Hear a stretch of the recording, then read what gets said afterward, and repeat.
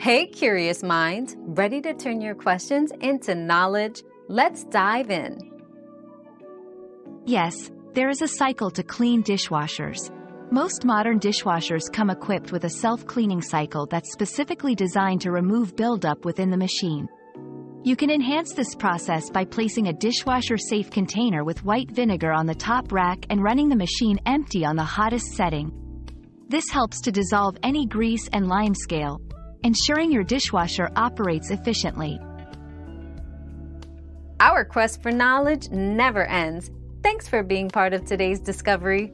Subscribe, like, and share to join us on the next one.